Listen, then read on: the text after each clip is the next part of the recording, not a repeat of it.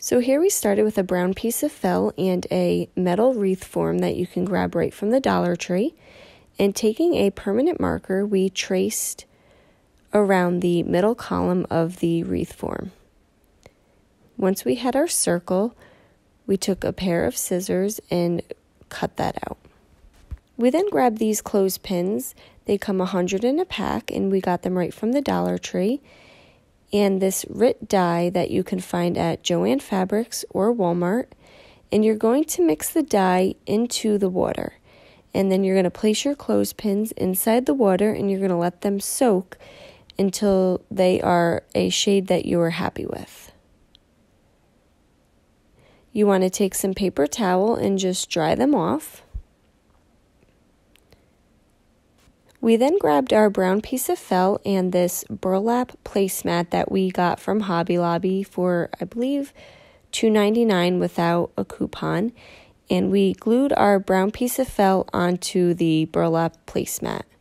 We then laid the wreath form on top of the burlap placemat, and using some green floral wire, we attached them together.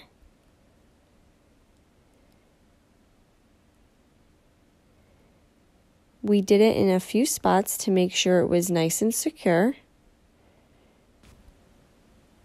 We then took our clothespins and we clipped them on the inner two bars of the wreath frame and we went around the entire frame. For this 12 inch, we used about 58 clothespins.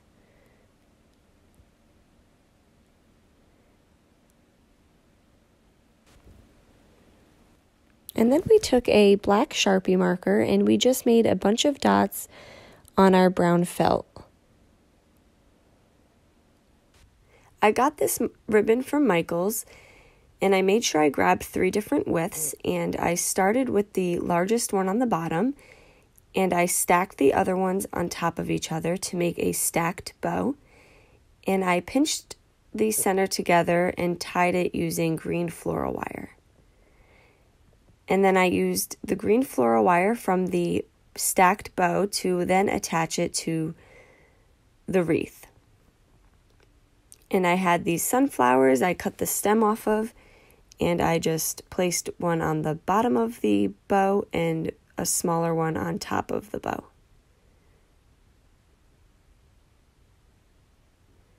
And that's it. Now we just have this very easy clothespin wreath that you can use on your door or hang in your home.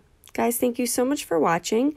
Paint products can be found on our webpage at chalkitupfancy.com, and we have many other videos and tutorials over on our YouTube channel.